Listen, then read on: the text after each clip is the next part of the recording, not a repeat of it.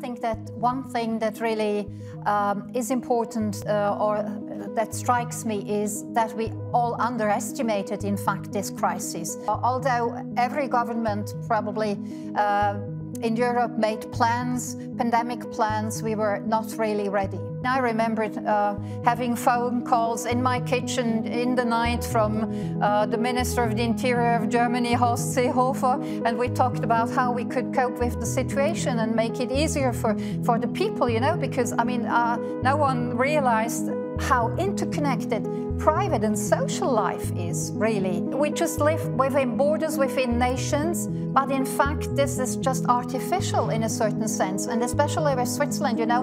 Um, I talk from St. Gallen here, and St. Gallen is a border region with Austria and Germany, and, you know, you have friendships, you have families, uh, cross-border relationships you cannot just cut, and uh, people really protested against uh, uh, the closing of borders, which I found was a good sign in, in, in effect.